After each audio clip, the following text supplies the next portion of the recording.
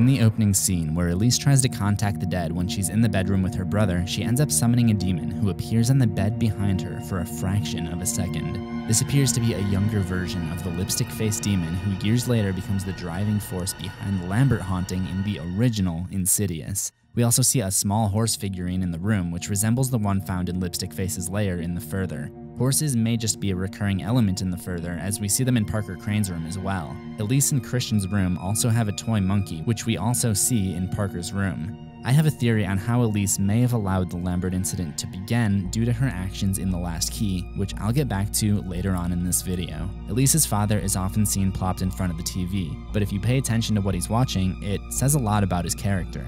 First, he's seen watching a documentary about Joseph Stalin and Marxism. I never paid much attention in history class, but I do know that Stalin was a communist dictator back in the USSR, and Marxism was an ideology that was the basis for communism. If you think about it, his household is a communist dictatorship, where he is the dictator. In fact, when he punishes Elise, the mother begs him not to go hard on her, but he says, Don't tell me how to punish her, I punish people for a living. He also forces Elise to ignore her psychic gift and lie about the existence of spirits in their house because she's the only one with the ability, and in communism, everything is controlled by the state, or in this case, her father, and everyone's contribution must be equal. So he tries to force Elise to dumb herself down so that she can't use the power that her brother doesn't have, which is a method used by communist leaders to keep people in line and prevent an uprising. Another one of the programs he watches is Duck and Cover, which was a propaganda film shown to school children in the 1950s. It was supposed to teach them what to do if a nuclear attack hits, but really was created to give people a false sense of security as not to raise panic.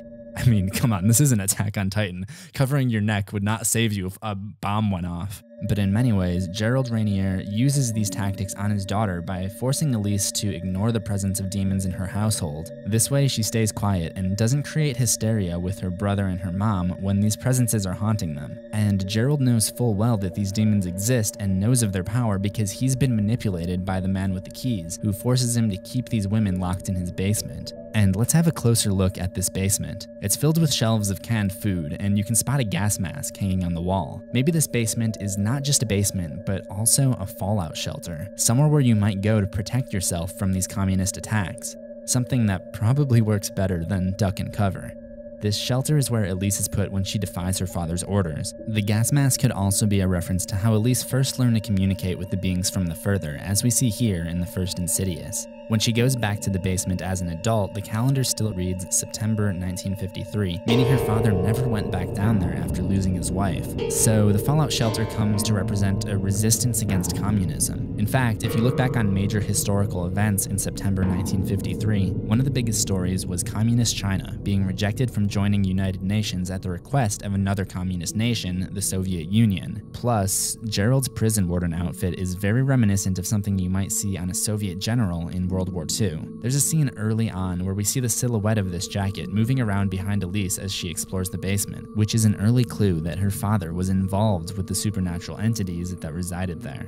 The house is located at 414 Apple Tree Road in Five Keys, New Mexico. As mentioned when I talked about the trailer, it's a fictional location, so choices such as making this welcome sign look like a tombstone are deliberate. It's kind of hinted that the whole town is filled with malicious ghosts because of the executions that take place at the large prison facility, which seems to be the main feature of Five Keys. One character tells Elise that she's lucky to have gotten out of town, and her niece, Imogen, claims to have also seen these spirits, despite the fact that she never actually visited the house Elise grew up in. It seems like the whole town is plagued by these occurrences, and Elise's childhood home has the worst of it due to the close proximity with the prison. The street address 414 Apple Tree Road could be a reference to this being the fourth movie in the franchise leading directly into the first movie. Early on in The Last Key, Elise mentions that she refuses to go back into the further after a close call while helping out Quinn Brenner, which is a reference to her standoff with the Black Bride in Insidious Chapter 3.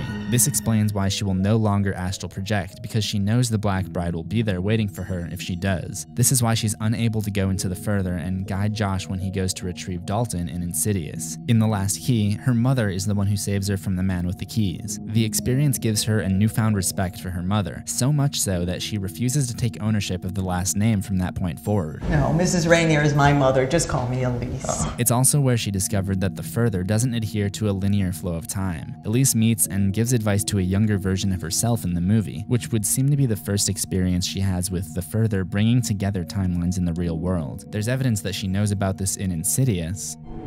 The further is a world far beyond our own, yet it's all around us. A place without time as we know it. And it plays a much bigger part in Chapter 2, when Josh does the same thing. He meets a younger version of himself to help track down the location of the Black Bride. At the end of Insidious Chapter 3, Elise joins up with Specs and Tucker, but mentions that if they're going to go into business together, they'll need to dress nicer. In this movie, Elise gives them the new clothes, which they subsequently wear in Insidious and whenever they're on the job in Insidious Chapter 2. Elise mentions that the clothes were some of Jack's old outfits. Jack is her deceased husband, whose image can be seen in Chapter 3 when the man who can't breathe tries to trick her into taking her life by pretending to be Jack. Sure enough, the outfit he's wearing in the scene matches up with the outfits that Elise provides Specs and Tucker with, which become part of their signature look in the series going forward. It's not entirely clear how much of Elise's father's behavior is just him being evil and how much of it is due to him being controlled by the man with the keys, but we do see evidence that the keyman's victims may have some control at some point. When Elise returns to the house in 2010 after Ted Garza has moved in, most of the interior decorations are the same, but Garza has added some religious symbols, a cross on the wall, and many copies of his Holy Bible, which he expresses a belief that it'll help Elise ward off the bad spirits, which seems to be more like something out of the Exorcist than Insidious, which is why it doesn't really work. There's also a nod to another exorcism movie though. Elise's dog appears in both this film and the previous film, and his name is Warren. Ed and Lorraine Warren are Elise's ghost hunting counterparts in the Conjuring franchise, the other big four film horror series started by James Wan under the Blumhouse banner. Anna is the woman being kept prisoner in the basement. When they find her, you may notice that she has a considerable amount of leg hair, suggesting that she's been trapped down there for a very long time. When Elise goes to investigate further, she finds the suitcases of at least four other women who have been taken prisoner down there. They each contain information about the person and their skull. The one thing each victim has in common is that they're all female nurses. It's never fully explained why this key demon is only interested in nurses, but it does make me wonder if this is somehow connected to Lorraine Lambert, Josh's mother. In Chapter 2, the Black Bride first encounters Josh as a child when he's waiting for his mom to get off work at the hospital as a nurse. Parker Crane, who ends up being the Black Bride, attacks Josh, and it's discovered that one day later he jumped off the roof of the hospital, killing himself. Lorraine finds this out after a creepy elevator ride with Parker's ghost. Parker, what are you. You should be resting. You shouldn't be out of bed. Let me know your thoughts about the whole nurse thing in the comments. Earlier, I mentioned how I think Elise is responsible for the red faced demon getting to Dalton Lambert in the first movie. It starts with these red doors, which we learn more about here in The Last Key. Elise mentions that she previously used a red door to go deeper into the further. She's talking about Quinn Brenner's apartment, which is an interesting case because the first time she passes through it, she's brought to the Lambert's second house, which she hasn't even been to yet. The second time, under the guide of one of the ghosts of the apartment, the same door takes her to the abandoned fifth floor of the apartment complex, which is the home of the man who can't breathe. In Insidious, Josh passes through a red door to get to the lipstick face demon's lair, and in Chapter 2, Josh, Elise, and Carl pass through a red door to get to Parker Crane's childhood room. In The Last Key, there's another red door, and it leads to the penitentiary where the man with the keys lives, and this is where the final showdown takes place. So, based on these examples so far, it looks like red doors typically lead to the lair of the demon who's haunting that area. However, it would appear that there are certain cases where a red door will take someone to another time period, and we see it happen one more time when Elise is on her way back to the real world in Chapter 4. She stumbles upon the first Lambert house and sees Dalton fall off of the ladder. When she goes back through the door, she leaves it open, and the Darth Maul looking demon who has been following her all these years sees the chance to go after Dalton and try to take over his body to get back to the real world, which was his objective all along. So, in many ways, the Key Fingered demon, despite being defeated, still accomplished his goal. He's been trying to get Elise to open all of these doors ever since she was a child, and she opens the one that leads the lipstick faced demon to Dalton. The man with the keys leaves all these keys keys around for Elise to open the doors, but at the end of the day, the last key is Elise.